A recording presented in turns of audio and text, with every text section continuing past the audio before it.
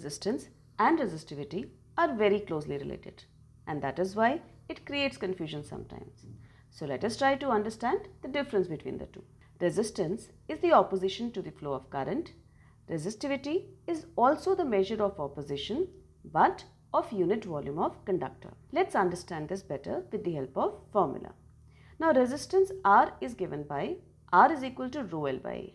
Now if you take L as 1 meter and area as 1 meter square then R is equal to rho which means that resistivity is the resistance of conductor of unit length and unit area of cross section.